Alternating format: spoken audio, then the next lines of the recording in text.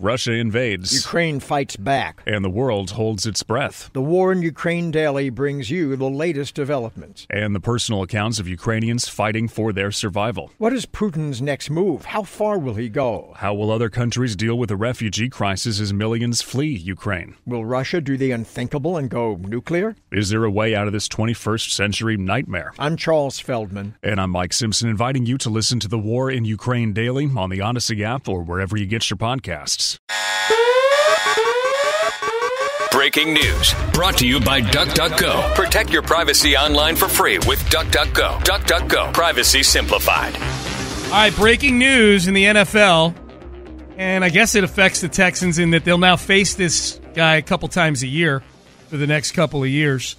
Uh, Five time Pro Bowl cornerback and 2019 Defensive Player of the Year, Stephon Gilmore reached agreement on a two year deal, Seth, with the Indianapolis Colts, per a source. Adam Schefter just tweeted that. Adam Schefter of ESPN.com. So, Stephon Gilmore, that had been um, his meeting with the Colts had been reported this week earlier.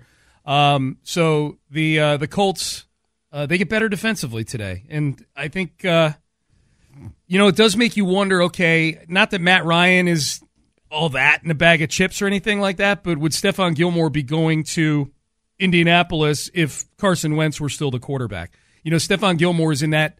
I think he's in that category of veteran now that probably is looking for the best chance to go win a ring. You know, go chase Yeah. a title. Um, and the Colts, I think, feel better about their chances of doing that than than with uh, than with uh, Carson Wentz.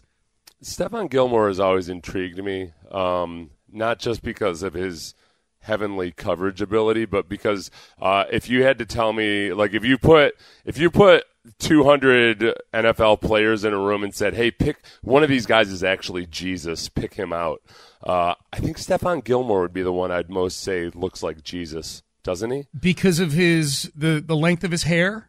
Oh, Well, he's got long hair, but then he also kind of has like a Little He's beard? got the his eyes kind of have like a Yeah. peaceful, forgiving quality to them. Yeah, he's got a very symmetrical face. Mhm. Uh, like so, I'm not even talking about like the typical like uh, you know the, like uh, artist rendition of Jesus or whoever he looks like, uh, whether he's black, white, anything else. There's something uh, there's something uh, like downright holy about his face. Yeah. It uh, yeah. So I, I feel like that's a good reason to sign him as any. I always thought it was Charlie Whitehurst who was actually named Clipboard Jesus back in the day, but I'll take Yeah. Stephon Gilmore. You know, because he kind of had a he had a sandal wearing vibe to him too. He had like he had long hair. It's it's about the Beard. vibe as much as anything. This is what it helps to be to be to be dis, to for people to describe you as a Jesus of some sort. Yeah. physically, Mhm. you've got to have a face like Stephon Gilmore's, Okay. which it's almost like it's all like he's got these peaceful, forgiving eyes, Yeah. and like a face that's almost too uh, too symmetrical. Yeah, yeah, yeah. The- the- and uh, or Charlie Whitehurst has kind of like a uh, a peaceful hippie vibe. Yes. It looks like he'd be wearing sandals, playing an acoustic guitar, or, or whatever the instrument of choice was back in the year, you know, 80. he, he was doing his thing. Yeah. Oh, Yeah. back. Oh, back when. Yeah. Back. I, I don't know, Jesus' Ute or something like that. Right, Yeah. right, right, right. Um, so, uh, so Stephon Gilmore is now an Indianapolis Colt. Congrats to Greg in Galveston, making the trip up from Galveston to the Whiskey Talk, the uh, Yellow Rose Distillery next Thursday. So we're excited to see you, Greg. Next chance to win admission to that will be between 9:45 and the end of the show. When the the guys on In the Loop will be in with us here, we'll we'll chat with them about Landry's poll that he put up earlier. Is getting a lot of run on athletes that used to be in Houston that we do not want to win championships. Um, so sorry, I got us off on the. Uh, I, well, I got us off on this uh, the the Stephon Gilmore. It looks like Jesus tangent, but uh, as far as Stephon Gilmore, the actual football player. Oh yeah, yeah, yeah. yeah. This is that. um, the Stephon Gilmore. It's he's a he's a tough nut to crack because uh, he was defensive player of the year just a couple years ago, and now as it happens with cornerbacks, it seems like they go from dominance to uh, not the tank or anything. Stephon Gilmore is still really, really good, but two or three years ago, a team, even at his age, a team would have said, "Yeah, give him all the money for a. Give him a three-year deal with all the money." And where now, I think he's just lost enough of a step that he's still very good, but people don't look at him as a guy that's going to transform your team necessarily. Um, but he's still, I think he's still a really good player. So this is if this were a year where the Texans were looking to maybe really take that next step, I would be distraught over this. I'd be like, ah, damn it, the rich get richer. Yeah. Here they go. The the Colts now they got Matt Ryan, who's he's not the best thing in the world, but they'll probably figure out a way to make it work. But they do have Stephon Gilmore, who at the very least, you know what, it'd be good for Davis Mills to cut his teeth against a guy like uh, Stephon Gilmore. That's that's a really to to localize that story. You just nailed it, which is the fact that I'm not moved emotionally all that much by this story. That I'm not Yeah. pounding my fist like you know, like you just said. That, you're not. Oh crap. Um, it tells you about where the Texans are in their life cycle right now. the The hope is we get back to the days where we actually care about the Colts thieving this guy from the rest of the league and having to go against him twice a year. You know, so Yeah, yeah, yeah. It'd be nice that someday.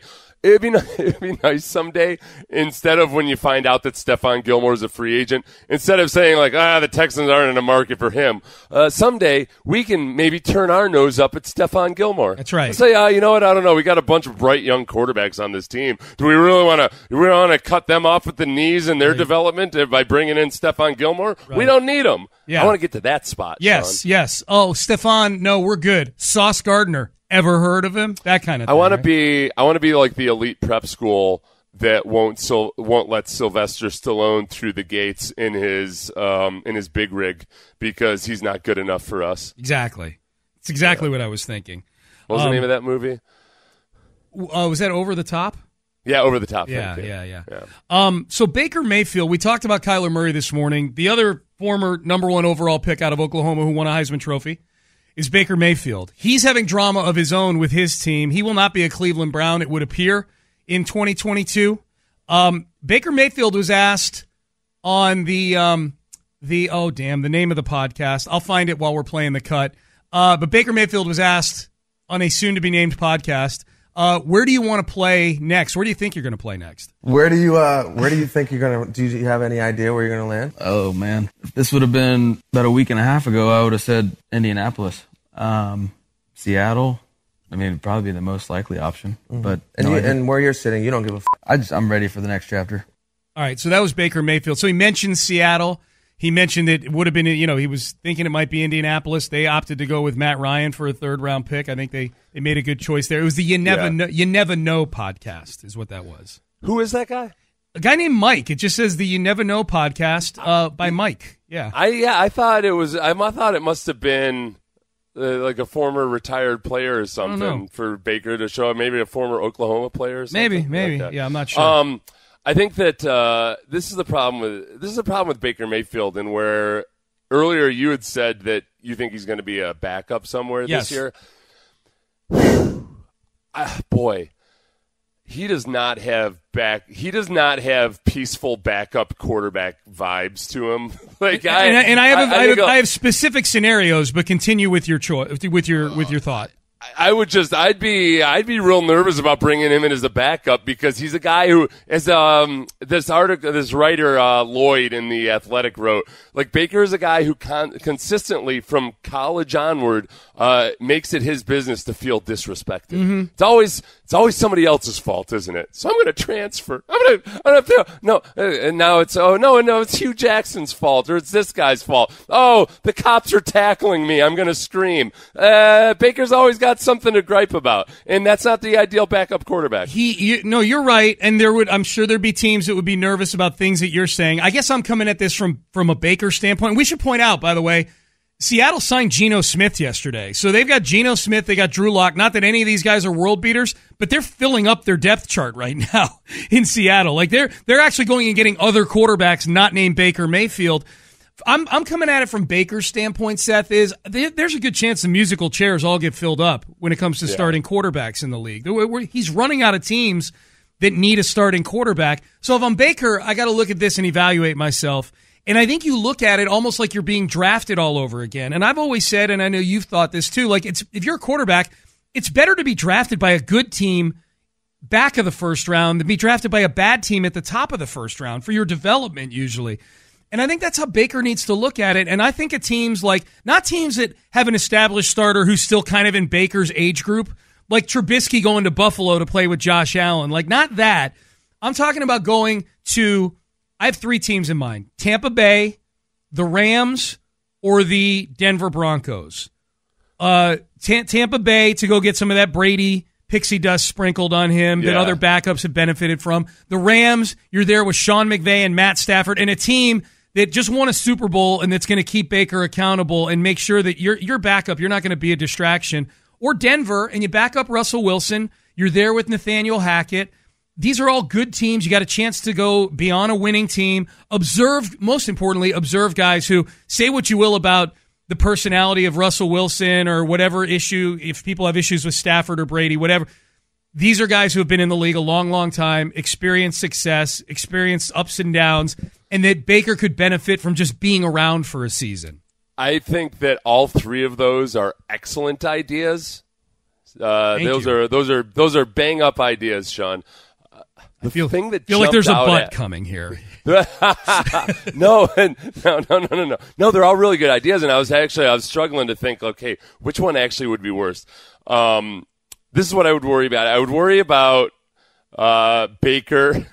Baker's disdain for Russell Wilson himself, Yeah. and also perhaps the the bad boy appeal of Baker would create a little bit more of a potential locker room situation than you would want. Yeah. That I and I also think Russell Wilson of those three quarterbacks that you just mentioned, I feel like Russell Wilson's the one that still has the most football to play ahead of him and might might legitimately and understandably feel a little bit threatened by having Baker Mayfield there. So, like I like I'm not actually trying to throw shade at Russell Wilson um th- other than just in fun. I don't I don't think that that's the right dynamic in Denver. I think that that that actually could be perceived as a threat or just like not like the honeymoon that you want. Tampa makes a lot of sense. I think that yes, Stafford's a good quarterback, um, but but he's not as obviously as good as Tom Brady. Right. And if you want to learn how Tom Brady prepares, learn some lessons from Tom Brady. And it, not that Tom Brady needs to be your chaperone or anything or your tutor, but you're going to sit there and that's something you can sell to other coaches. Absolutely. When it comes time to, you know, talk about how you've changed, maybe go and show a little bit of humility at some point, Baker. Talk about how like, oh, I didn't realize exactly because by the way, yeah, remember I had four different head coaches in four years there. Um, Gregg Williams was my coach at one point on an interim basis. The only thing I would worry about in Tampa is the is there uh is is is there any possible way that Mike Evans being there? No, no, no, no. Okay, I think that yeah, no. There's almost no downside to Tampa. Yeah. And they There's need a a- no, backup. He- Baker's better than Blaine Gabbert. That's the other thing. From the Yeah. standpoint of those teams, those are older quarterbacks. Like Baker, there is an upside to Baker that if any of these guys get hurt, he can go in and win football games on these teams. Yeah, I think I think he's got to go to Tampa. He's got to say, "Hey, I'll take minimum and I'll go to Tampa." Yeah. and then also he's got the best shot there too. If I think uh, who's going to retire first, Stafford or Brady? Like I, I think, I think Brady. I don't he know. did just Like- retire like few I, months I- like I, I literally, I don't know. Like it's 50 Like Brady might play till he's 50. I don't know. I feel like uh, Stafford's the guy that most Stafford. Stafford is the guy who most looks like the guy that uh, could be cool with just one championship. Like, ah, it was a good run. I could see, right. but I could see later. Brady leaving and going somewhere else. You know, like I, Yeah. Brady might not retire, but he might say, you know what, I'm going to go to San Francisco finally. That kind of thing. that's the other thing too. Baker Mayfield could would have Byron Leftwich as his offensive coordinator, who I think is uh, like there's a there's a very good chance that he ends up as a head coach, uh, maybe of the Tampa Bay Buccaneers Maybe. within one year. Maybe. So uh, it, so that that might be the best fit too. Over 2 million construction jobs around the world are taking their projects to the next level. From roadways to railways, from skyscrapers to homes. Make your vision a reality. Build with Autodesk Construction Cloud. Try it free today at construction.autodesk.com. Hi, I'm Femi Redwood, the host of the podcast Beyond Black History Month. This week is all about baseball.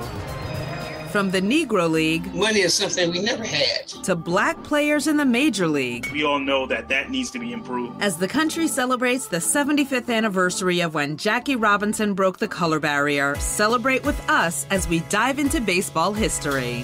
Look for Beyond Black History Month on the Odyssey app or wherever you get your podcasts.